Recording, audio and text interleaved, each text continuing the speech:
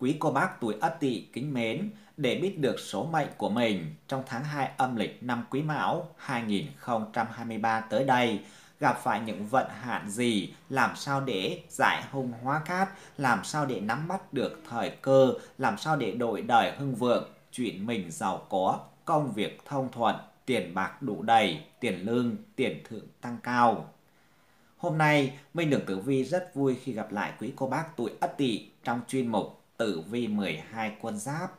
Kính chúc quý cô bác luôn mạnh khỏe, gặp nhiều may mắn và thành công hơn nữa trong cuộc sống của mình. Kính thưa quý cô bác, quý cô bác có biết rằng may mắn hay là xui xẻo, giàu sang hay là nghèo khổ đều là do cái số và phúc phận của mọi người mà nên.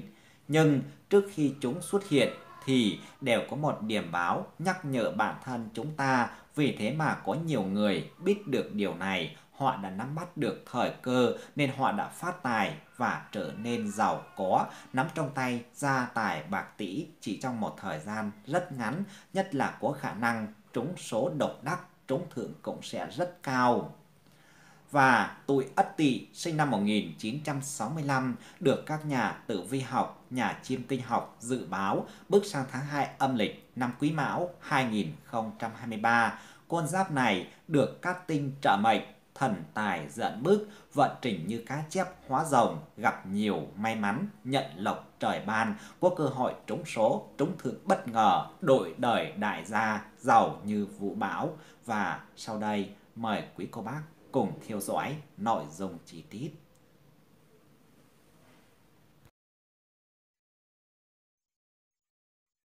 Tử vi tuổi Ất Tỵ, sinh năm 1965, tháng 2 âm lịch, năm Quý Mão 2023. Người tuổi Ất Tỵ, sinh năm 1965, là tuổi con rắn, thuộc mệnh Hỏa, phú đăng hỏa, nghĩa là lửa đèn nhỏ. Thời điểm hoàng đạo để bản mệnh tuổi Ất Tỵ xuất hành là giờ chẵn, ngày chẵn và tháng chẵn. Xuất hành vào thời điểm này, mọi chuyện sẽ suôn sẻ, gặp nhiều may mắn, được như ý nguyện, đại cát đại lợi. Tổng quan tử vi tuổi Ất Tỵ, sinh năm 1965. Tuổi Ất Tỵ có cuộc đời suôn sẻ, thuận lợi, cuộc sống được no đủ, nhưng lại thường xuyên lo âu, bất an.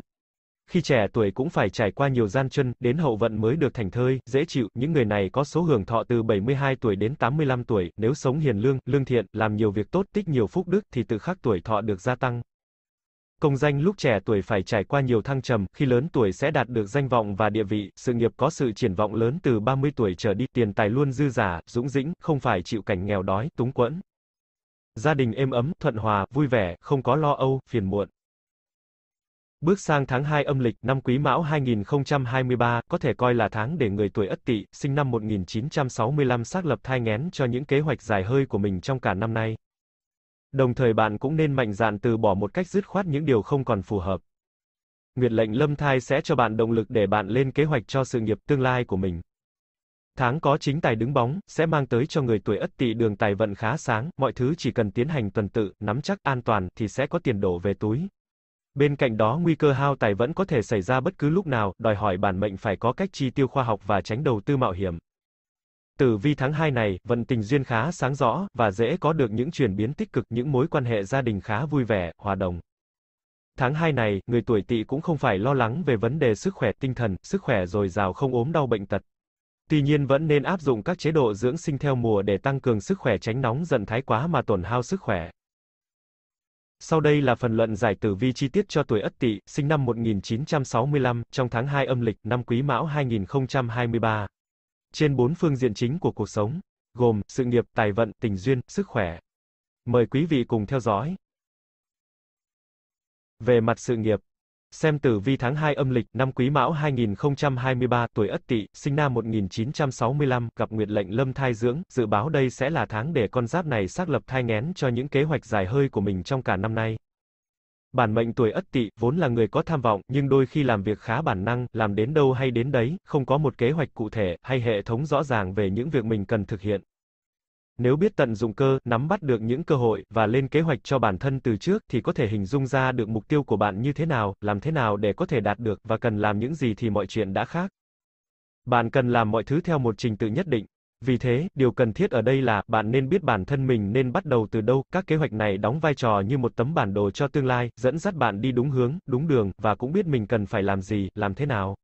Tấm bản đồ này sẽ giúp bạn đưa ra những lựa chọn đúng đắn về công việc hiện tại, cũng như những bước đi đúng đắn sắp tới. Bên cạnh đó, với một kế hoạch rõ ràng về tương lai, để phát triển bản thân là rất cần thiết, sẽ giúp bạn hệ thống lại suy nghĩ của mình. Nếu bạn chỉ suy nghĩ trong đầu, có thể bạn sẽ bỏ lỡ những chi tiết cần thiết và quan trọng, từ đó sẽ không thực hiện được những chiến lược thực tế. Để hoàn thành mục tiêu đó, nếu bạn cảm thấy khó khăn và không biết nên lập kế hoạch từ đâu, bạn có thể tìm kiếm sự giúp đỡ từ người có kinh nghiệm và đáng tin cậy, với sự tương trợ của tả phù, những ý kiến chỉ điểm, mách nước, nhắc nhở từ đối phương, sẽ giúp bạn biết mình bắt đầu từ đâu, cần làm gì và làm như thế nào. Đồng thời, bạn cũng nên mạnh dạn từ bỏ một cách dứt khoát những điều không còn phù hợp với bản thân ở thời điểm hiện tại, để dành thời gian quý giá cho những điều thực sự có ý nghĩa. Như vậy, bạn mới có thể phát triển rực rỡ hơn mà không bị bất cứ thứ gì ngáng chân. Tuy nhiên, trong tháng này vận khí chưa thực sự ổn định, vẫn có ám tàng hung hiểm, do thiên cầu hung tinh hoành hành, do đó người tuổi Ất Tỵ vẫn nên thận trọng với những việc bản thân định thực hiện, mạo hiểm không phải là quyết định khôn ngoan vào lúc này. Đặc biệt, trong tháng khi làm việc liên quan đến hợp đồng, văn bản, giấy tờ quan trọng, bạn cần chú ý giả soát tỉ mỉ, tránh xảy ra sai sót về số liệu, dẫn tới tổn thất tiền bạc, ảnh hưởng tới uy tín, tương lai và cả tiền đồ của bản thân.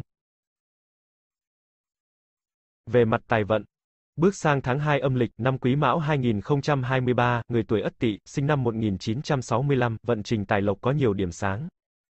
Trong tháng có chính tài nhập cục giúp cho con đường tài lộc khởi sắc mạnh mẽ, mọi thứ chỉ cần tiến hành tuần tự, nắm chắc, an toàn, cùng với cách chi tiêu thông minh thì tiền sẽ đổ về túi bạn và không ngừng đầy lên, bạn càng lạc quan thì vận trình tài lộc của bạn càng tươi sáng.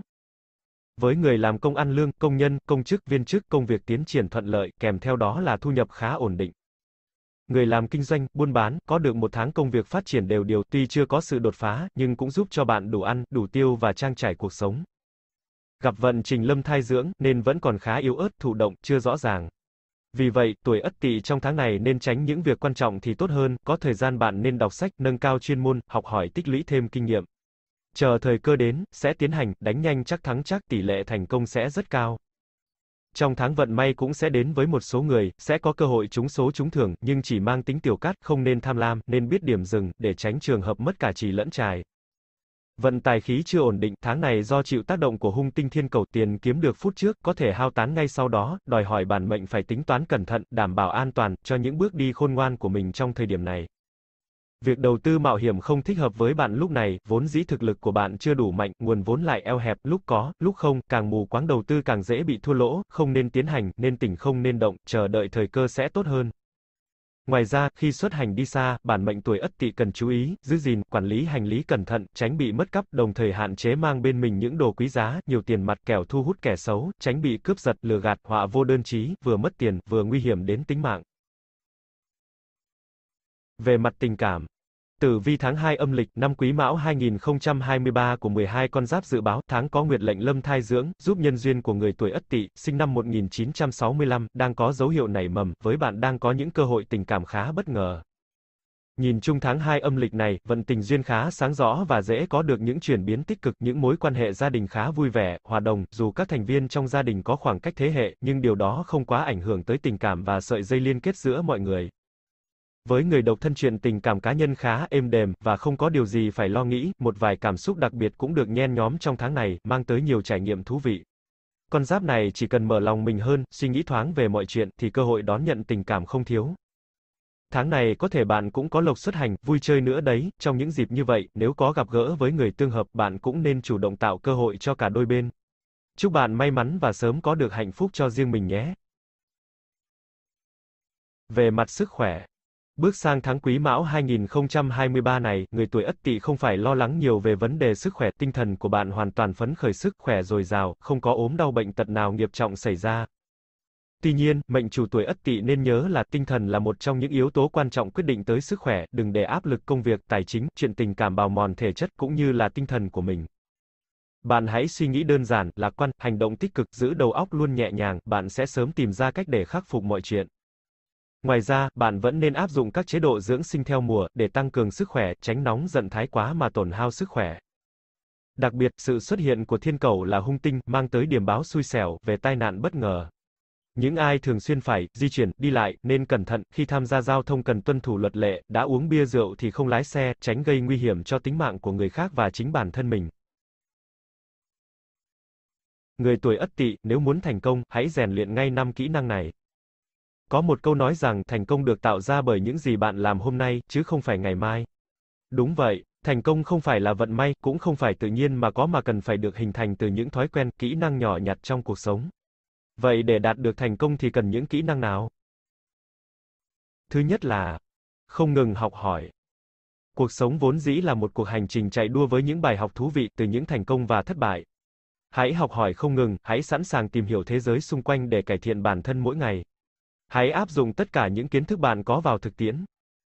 Hãy tìm hiểu những thứ còn bí ẩn, hãy luôn đặt ra câu hỏi cho những gì bạn vướng mắc.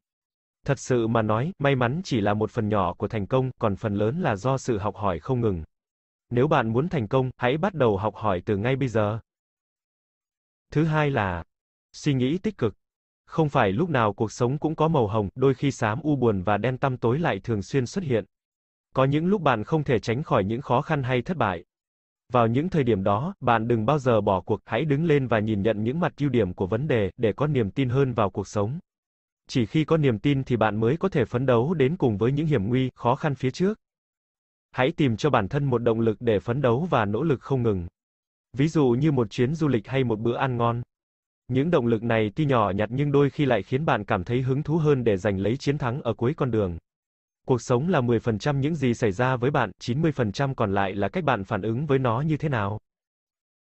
Thứ ba là thói quen đọc sách. Một thống kê gần đây cho biết chỉ có 30% dân số Việt Nam đọc sách thường xuyên, 44% đọc không thường xuyên và 26% còn lại hoàn toàn không đọc. Vậy do đâu mà người Việt lại lười đọc sách? Có lẽ là do thời đại 4.0, con người vùi đầu vào mạng xã hội nhiều hơn là việc đọc những trang sách. Họ cảm thấy việc lướt Facebook hay Internet mới là những việc làm thật sự thú vị. Có người từng nói rằng, nguyên nhân bạn mơ hồ là do đọc sách quá ít và nghĩ quá nhiều. Việc không đọc sách cũng đồng nghĩa với việc có một lỗ hổng khá lớn từ bên trong. Chỉ khi đọc sách bạn mới có thể nhìn ngắm thế giới bên ngoài một cách rõ nét và cụ thể qua những góc nhìn mới mẻ từ những nhà văn lớn. Do đó, việc đọc sách không bao giờ là quá muộn, các bạn học sinh, sinh viên từ bây giờ hãy tạo cho mình thói quen đọc sách, hãy dành tình yêu cho sách như cách bạn dành tình yêu cho mọi người và không ngừng trau dồi kỹ năng đọc từ hôm nay để có được thành công vào ngày mai. Thứ tư là tạo lập khả năng tập trung. Tập trung ở đây có nghĩa là dành hết mọi sự chú ý, quan tâm cho một việc gì đó nhằm đạt được một mục tiêu xác định. Nguyên tắc của việc tập trung là không được trì hoãn bất cứ một việc gì, từ đó nâng cao tinh thần tự giác kỷ luật. Giữa dòng đời ồn ào, vội vã, mọi người ngày càng trở nên bận rộn với việc phấn đấu không ngừng để đạt được những mục tiêu mới. Cũng vì vậy, để thành công trong công việc lẫn trong cuộc sống, mỗi người chúng ta đều cần phải biết suy nghĩ, lập kế hoạch và hành động để đạt được những mục tiêu đó. Do đó, sự tập trung cao độ là một việc không thể không nhắc đến trong quá trình hình thành mục tiêu. Sự tập trung giúp con người kiên định, vững bước theo đuổi con đường mình đã chọn. Vì thế, hãy tập trung hết mình vào công việc để hướng đến sự thành công trong tương lai. Thứ năm là không ngại thất bại. Câu nói thất bại là mẹ thành công thật sự không bao giờ là sai. Bởi cuộc sống sẽ là những chuỗi ngày thất bại nếu bạn không biết cách vượt qua nó. Bạn phải bước ra khỏi vùng an toàn của bản thân để học được cách thành công sau những lần thất bại đầy gian khổ. Để đạt được thành công, những người nổi tiếng đã không ngừng thất bại, họ coi thất bại là những trải nghiệm đáng có, để bản thân có được những bài học mà ở trường học không thể có. Các bạn hãy bắt đầu tạo lập những thói quen trên ngay từ hôm nay để bản thân có thể thành công rực rỡ trong tương lai. Vâng, quý vị thân mến. Trên đây là những chia sẻ rất tâm huyết đến từ ban biên tập chương trình về tử vi tháng 2 âm lịch năm Quý Mão 2023 cho người tuổi Ất Tỵ, sinh năm 1965. Minh Đường Tử Vi rất mong rằng quý vị sẽ đón nhận được nhiều may mắn trong tháng mới và làm giàu cho bản thân mình, cho xã hội. Minh Đường Tử Vi vô cùng cảm ơn quý vị đã quan tâm và theo dõi chi tiết hết video của chúng tôi. Mọi ý kiến đóng góp và thông tin cần được tư vấn hỗ trợ, vui lòng comment ở bên dưới và bình luận. Ban biên tập chương trình sẽ tư vấn và giải đáp miễn phí trong thời gian sớm nhất. Minh Đường Tử Vi kính chúc quý vị luôn mạnh khỏe, hạnh phúc, giàu có và thành công hơn nữa trong cuộc sống của mình. Chương trình đến đây là hết. Xin chào và hẹn gặp lại.